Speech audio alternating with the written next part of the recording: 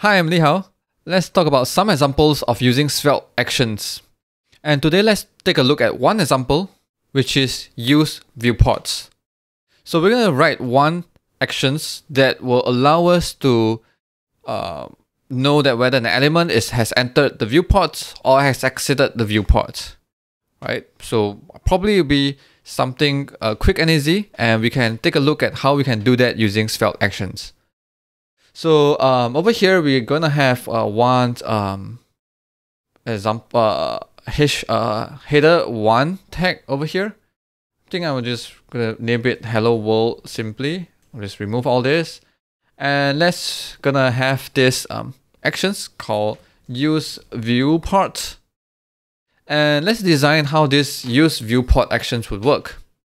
So I would want this use viewport to be just like this, but when um, and then with by using this viewports, probably it will give me some events like some uh, like on um, enter viewport and on exit viewport. So having these two actions, uh, two events, and I can listen to it and I can handle, I, I can uh, do things with it. So right now I'm just gonna print out enter and exit, right? So um, if this is the first time you're watching um, my video about Svelte actions, probably you can take a look at this video on the top right corner where I talk about how you can create events using Svelte actions.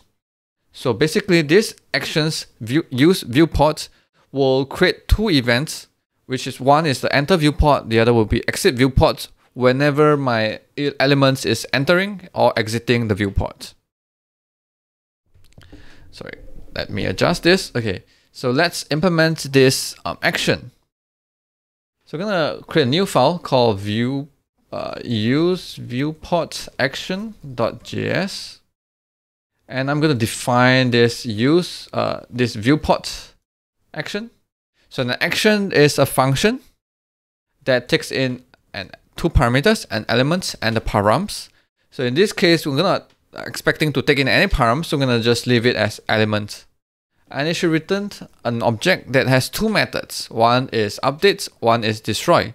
If you're not taking any uh, parameters, then you wouldn't expect that the parameters will be updated. So we can ignore the update method, but implement the destroy method right? So this method will be called whenever the element is destroyed. So I'm going to just export default uh, this action and I'm going to import it from here. Uh, use viewport action.js. Right, so now we are going to implement uh, the action, right? So I'm going to use um, an intersection observer to do it for me. So probably I can create an intersection observer new intersection observer. And the constructor of intersection observer should give me, uh, should be taking in an callback function whenever and any elements that is observing is enter or exit the viewport, right? So this is something I will have to fill up later on. And the action itself will be, this function will be called whenever this element is mounted on the screen and at that time, we'll probably want to observe this element to see whether it's entering or exiting the viewport.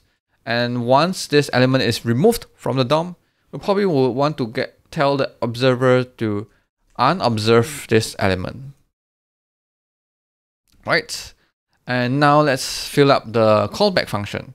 Right. So this intersection observer takes in a callback function that will have an entries of element where each of the elements uh, would be either entering or exiting the viewport. Right, so what we need to do is to loop through these entries. So for each entry, and in each entry, it has two um, properties. One is the entry dot is intersecting, telling us that whether this uh, element is intersecting, uh, which is true if it's within a viewport, or false, it's not within a viewport right? And we have entry.target, which is the element that um, is within this entry.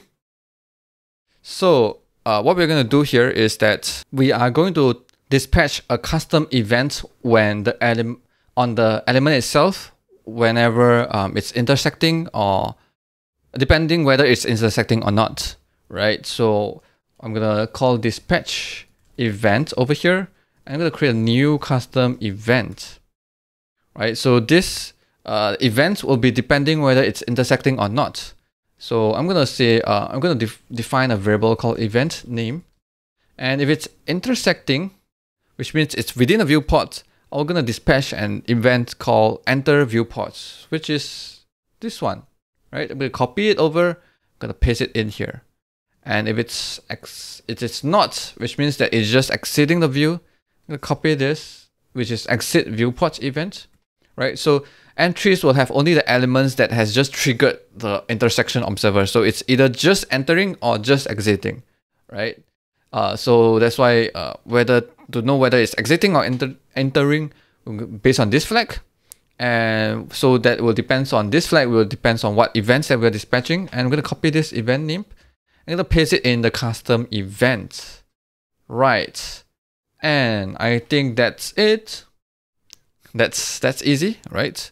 Um, so to test it out, what I'm going to do here is I'm to create some you know, some placeholder elements that we can push this uh, hello world header down and then we can scroll up and down to see where the like the intersection observer is being uh, the uh, enter viewport like exit viewport events being triggered. Right, so I'm gonna create div uh, style with its like um maybe height of 200 pixels and background of red. Uh, I'm gonna copy a few, probably just to know that it's different. I'm gonna say blue and green. Go copy a few over this and paste a few at the bottom as well. Okay, so let's take a look at the console. Right, uh, once at, at the first when we uh, adding this um, use viewport actions, the moment that we start observing, probably we need to know also whether the element is entering or exiting or is like within or outside of the viewport. So this is when the exit viewport is being triggered the first time, right? It depends on whether you want it. Probably you have to handle it so that you know whether you are you should be doing something or not, right? And as you scroll, um, once we see that hello world is entering the viewport, you see that enter, and then if we scroll past, it's exit, right? Coming back, enter, and exit, right? Yeah, that's that's pretty easy right? I mean, that's that's about a use viewport action. So before we end this, I'm gonna add a few tweaks to my uh, viewport actions, which is over here. As you can see, that we created an intersection observer uh, once we like at the begin, like in the entry of this module. Uh, what I mean is that when I import this action, whether or not I'm starting to observe an element, uh, I am initializing a new intersection observer at the very beginning, right? So even I'm not using it at all, it's it's being created, right? Um, I can either create a new intersection observer every time for each of the elements that I'm uh, monitoring.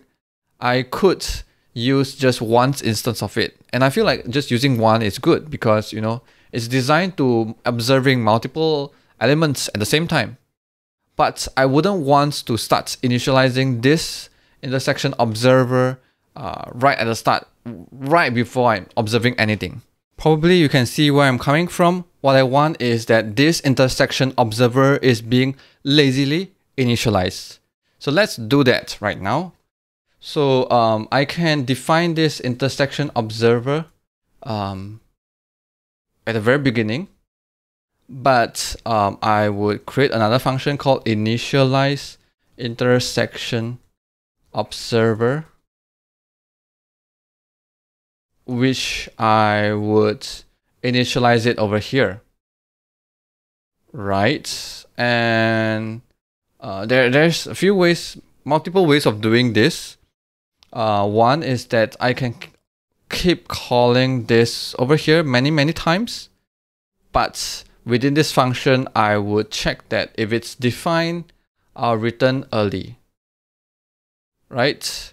Uh, another way of doing it would be not checking it over here, but you know, uh, if it's not defined, then I will initialize it, right?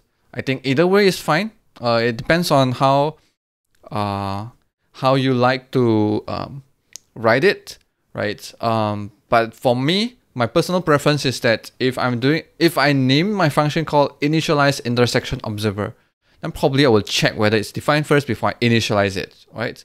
Uh, it doesn't make sense for me to call this initialize many, many times uh, because it should be called it once, right? But if I want to do it the other way where I check within itself, then uh, I, in this case, right, um, return, then I would call it like ensure intersection observer initialize uh, is initialized, right? So it's just me where I'm particular about the name of the function that because it carries some meaning about how you should use it.